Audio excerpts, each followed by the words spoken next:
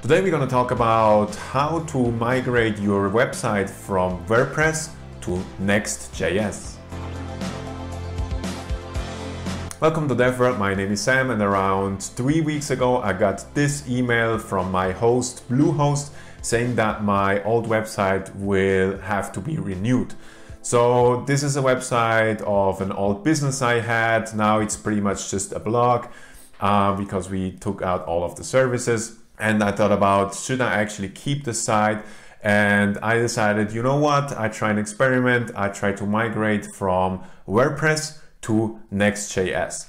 One of the big reasons also why I wanted to do this experiment is to check out if I can increase the speed index of Google and the SEO implications. So if I actually get more traffic at the end of the day because of it. So now the current website has around 40 points on desktop with around five, six seconds, of loading time and mobile is even worse.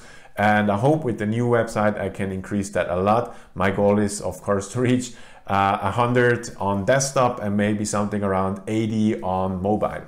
So that's why today I'm going to talk about how, why you should change, how you can change to make it seamless, then also some caveats you have to know, and then the recommendation of my personal recommendation who should actually consider changing from WordPress to Next.js. So first of all, let's talk about why you should move. So my reason was I didn't want to, so I didn't like my hosting company at all. I'm not too big of a fan of WordPress in the year 2021. So that's why I wanted to change. Also, another reason you might want to change is because you can make it. So if it's just a little blog on a little website with WordPress, you have to pay for the hosting and everything.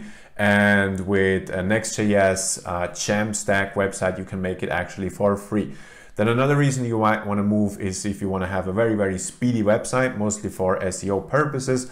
Uh, and then the other thing, of course, is if you hand code your website, you're free to do whatever you want. You don't have dependencies like you would have with WordPress, where you're very dependent on the platform itself and on different plugins. So how did I start with the website change? So first of all, in on WordPress, you have the code for your website, so your design, let's say, and your content management system, so your CMS in one platform. If you're gonna go with the Jamstack solution, so with Next, you also need a content management system on the other side, which will provide the Next.js application with the data. So that's the, the, first thing I did. I tried to find a replacement for WordPress, so the CMS. And I already knew Contentful, for example, which is a so-called headless CMS, but it was a little bit too much just for a simple blog.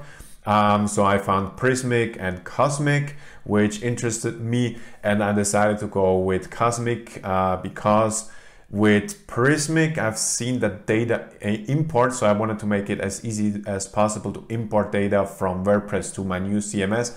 So you can only, if I've seen it correctly, um, with the paid plan, you can only import data to Prismic and also Cosmic, which was the solution I uh, decided to go with also had a WordPress uh, migration plugin, which I hoped make, uh, makes it seamless to integrate the data from WordPress to, um, to my new CMS, so Cosmic.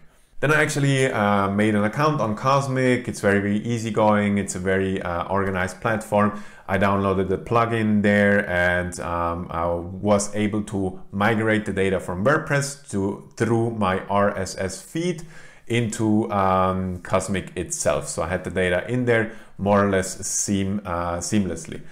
Um, after that, I of course had to go and write the code. So one of the things I started with, uh, one of the things I do when I uh, have a new project, I always go, if it's a Next.js project, I always go to the Next.js repository. They have an examples folder and in that examples folder, I search for Cosmic and would you know, uh, they had a template already there. So I really recommend going on uh, for many different reasons to the Next.js repo examples. You can find almost everything you need in there for a little boilerplate. So I uh, forked the boilerplate and it was very, very easy. So I didn't have to think about how to connect the database that was already set up in that boilerplate. So then of course I started to code, so I had to do some things. I migrated from JavaScript, so I deleted all the JavaScript files or renamed them to TypeScript, installed TypeScript, did some other things, uh, deleted some packages that I didn't use, and that was pretty much it. And I was up and running after, uh, yeah. And then of course uh, the, the groundwork came with uh, uh, building the, the components and the sections in my Next.js application with code that I previously had on my WordPress website. So now my stack contains Next.js, TypeScript, Tailwind as a CSS library, SendGrid for the contact form. So that's uh, where you uh, can connect the contact form to send you an email. Then MailChimp for this uh, newsletter sign up, Vercel for the deployment, and then of course Cosmic for the CMS. So what were some things I learned along the way? Uh, I want to give you some kind of detailed tips uh, that I encountered, which took me a lot of time to figure out, which I hope uh, this video helps you so you can make it in, a, a, in way less time than I did. But first of all, I had a backup uh, or migration issue with the uh, plugin from Cosmic. So for some reason, Cosmic, when I uh, executed the plugin, or um, yes, with the RSS feed, it said the, the migration or the import was not possible. There was an error or something like that.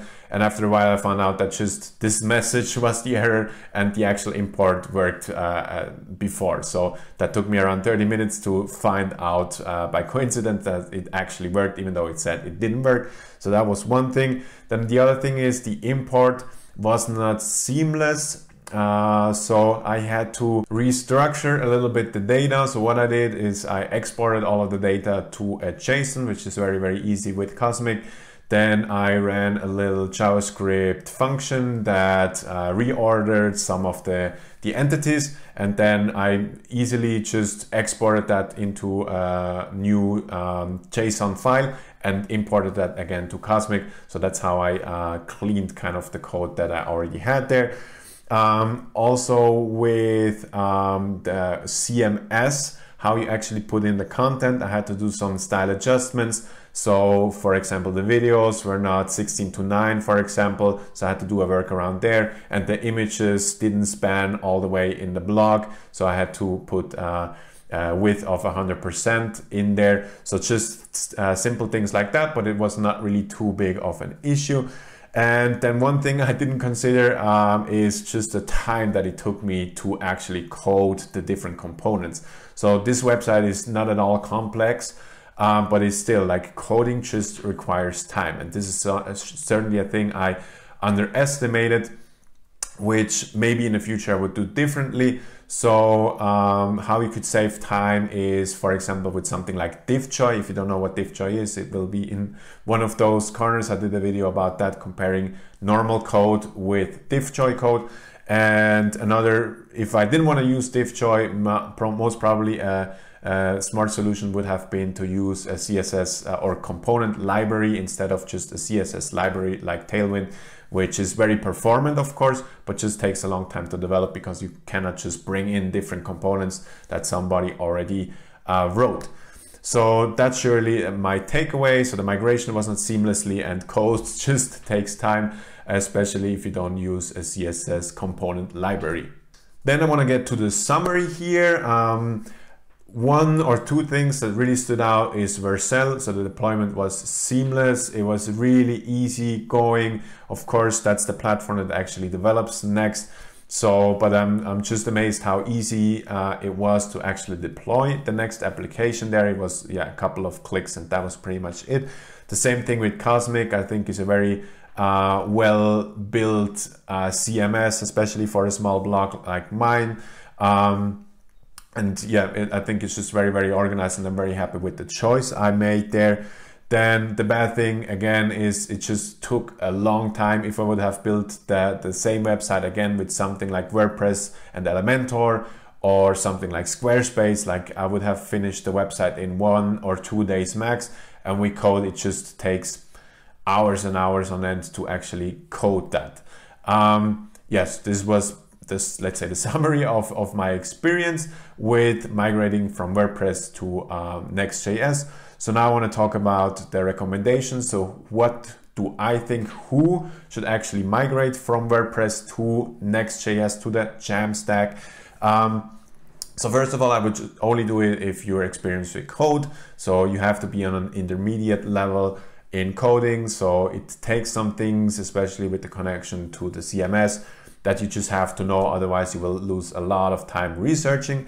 um, then I think it makes more sense if it's actually a serious project. So because it requires so much time, it has to be justified.